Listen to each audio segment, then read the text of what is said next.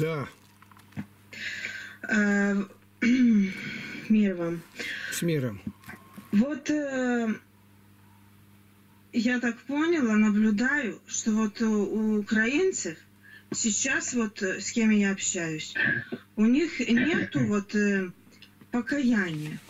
Ну вот с теми, которые общаюсь. Вот как возбудить? Нету покаяния. А Они не понимают. Вот я высылала вот э, молитву покаяния, которая у нас на сайте стоит, на, э, там, украинского народа. Эм, Потом а мне пишут, так ты вышли про, про русский народ. Я вы- высылаю им и русского народа. Но все равно они эм, думают, что вот русские виноваты, а украинцы нет. И вот нет никакого, нет, и, нет э, покаяния. Как, к- чем возбуждается это покаяние? Как это... Это надо, чтобы весь народ покаялся. А как это сделать? Вы замужем, нет? Да. Муж вами все время доволен? Ну, понятно, что иногда замечания ну вот, делает. как покаяние-то? Даже вот вы, уже зная, вышли за любимого же не селом кто-то толкал замуж-то, и все равно вы огорчаете его. Огорчаете. А муж живет меньше на 13 лет почти. И женщины не ценят. Около 11 миллионов, миллионов в Российской Федерации женщины, которые никогда замуж не выйдут. И они с мужиками как обращаются? Сколько раньше времени уходит из этой жизни? Государство на их стороне. Она совсем не работает, еще ребенка ей оставляют. А он теперь только работает, платит и все. А она его поносит, почем свет стоит. У нас такие вот здесь даже есть. А это целая страна. Кто их там учил так, что крещение не надо делать, а только рукой мокрой заденье и все. И сколько лет они отравляли Россию? Заходить надо с духовного. А чтобы понятно было, надо перевести на семью. Да разве мусульманки себя так ведут по отношению мужей? Вот она тут сама выступает, мусульманка. Он на работе был, неурядицы.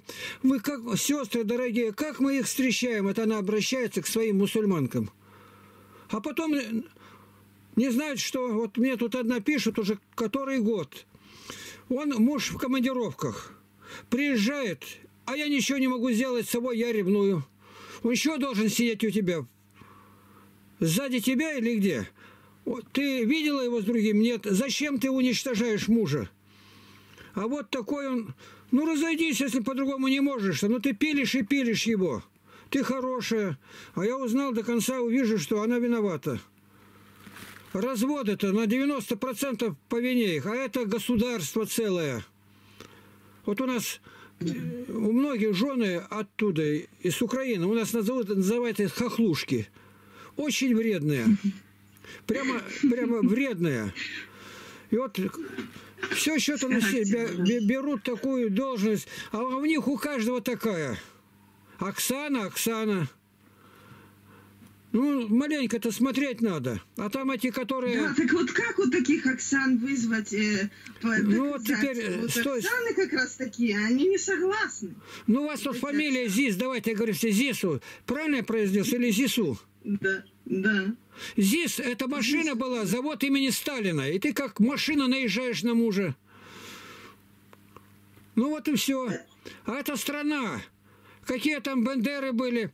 Вот говорят, у них был там этот, как его звали-то там, а, Белый Сашка. Знаете, он там го- гонял все это. Ну, слышала, да, да. А? Да, да, знаю, но его же убили. Убили, убили. Но зная меня, что я нахожу э, подход буквально к каждому типу людей, примерно 24 типа разных людей, я знаю, как с кем разговаривать. И вот меня спрашивают, а вот с Сашкой Билом-то вы бы нашли бы общий язык-то? Я говорю, даже искать не стал бы, потому что это моя биография. У него три дяди были взяты и невинно погибли в ГУЛАГе. Понятно? А я готовился с пяти лет, наверное, террористом быть, отомстить коммунистам за поруганную землю. Но Господь меня остановил, сказал, не ты, а тебя будут гнать, как Савла. Савл-то преследовал церковь. И мне не надо искать общий язык, потому что это моя биография. И сегодня, вот сейчас, там, где в Азове-то они там раздавили все, что было. А теперь их автобусами сюда везут, кто сдались добровольно. И теперь уже в интернете знают, что с ними надо работать. И работать может полную программу только указывать на меня, больше никто. Почему? Во-первых, опыт. Во-вторых, я знаю, что такое Украина. В-третьих, знаю, что такое тюрьма, что такое армия. В разных родах войск служил. И сейчас с правительством договариваются, чтобы меня туда отправили, чтобы я среди них был и работал с ними.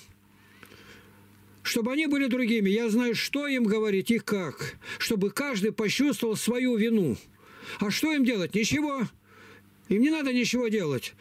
Меч Господень пришел, опусти руки. Что Бог сделает, то сделает. Америка сейчас туда миллиарды гонит оружия и всего. Америке главное, чтобы мы друг друга уничтожили. А они этого не понимают. Какой правитель-то? Ну, клоун. Он смешил людей, выступал. У него опыта никакого, нуль. И однако ему со всех сторон там и добровольцы, тысячи отовсюду, другие страны присылают. Почему? Им нужно уничтожить Россию. Задача-то одна стоит. А они безбожники. Кто он правитель у них? Какой нации? Какая у него вера? Кто его в храме видел? Ну, до конца-то надо доразговаривать и посмотреть. Как к ним подойти? Сегодня никак. Только одно громко кричать. Опустите руки. Выбросьте оружие. Покоритесь. Президент Российской Федерации сказал, и они вступают в НАТО. Зачем Америке за тысячи километров лезть сюда? Она везде нос свой сует. А эти в НАТО, значит, ракету устанавливают с границы прям вплотную к России. Он говорит президент Путин, нам некуда отступать дальше. Он на две недели опередил их, они хотели все силы бросить, отбить Крым. Крым. Как вот сейчас точно уже доказывает, что Гитлер говорит, мне не было возможности не начинать войну. Коммунисты готовились напасть на него, но опоздали на две недели. Это политика. А политика, как говорил Ульянов, это умение управлять государством. Это умение управлять одним регионом, одним домом, одной семьей, самим собой. Вот что такое политика. И поэтому с ними надо работать по Слову Божию. Я вчера дал согласие. Если меня туда отправят, ну, военные должны мной заняться. Где там с военными питаться и дальше. Я не один. Мне нужен человек. Я уже избрал, кто со мной поедет. Но они молчат. В прошлый раз, который этот схиегумен-то, э, уральский там был, Сергей Романов, Николай-то, я просился, э, не допустили. Я просился в ИГИЛ, когда воевали. Там мне жалко их молодежь. Пришла благодарность от Министерства иностранных дел, что я по такой вроде патриоты. Я этих слов не знаю. Я знаю одно, люди гибнут. Я хочу помочь им раскаяться, быть перед Богом. И тогда Бог берет правление сам в свои руки.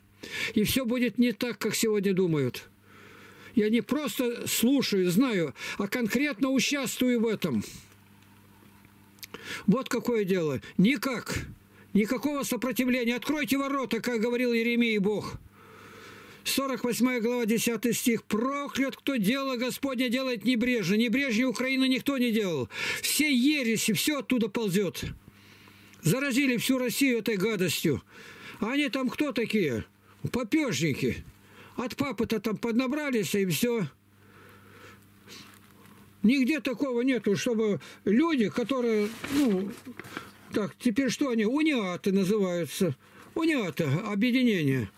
Они вроде православные, а на самом деле это все у них, если бритые такие едут оттуда священники, униаты. То есть объединились с католицизмом. И все это тянут сюда. Это не просто так. Это меч Господень. И перед ним нужно только склонить голову и не молиться ни о чем, кроме как да будет воля Твоя, Христе Боже наш. Все. Да будет воля Твоя, а не так дай победу или еще что-то. Виноваты все. Но виноват более тот, кто подал соблазн. Лучше бы не родиться или мельничный жорнов повесили. А это все идет через Украину. Все ереси, какие у нас есть здесь, все оттуда пришли. Их в одной Америке 21 тысяча названий. Спроси, сколько их там было? И сегодня к ним подходить нужно только со Святой Библией в руках. принести покаяние. Самая большая ошибка в них будет, что они начали сопротивляться. А это так прошли бы, военные объекты уничтожили, и все. Они сейчас прячут их там где-то в домах, говорит, к людям. Живой, живой возникли бастион. Люди, это же не война еще идет, а только так, эпизодом. Как говорят, а не военная операция. А война будет, там смотреть не будут, начнут все с землей сравнивать. У нее ни оружия, ничего такого нету.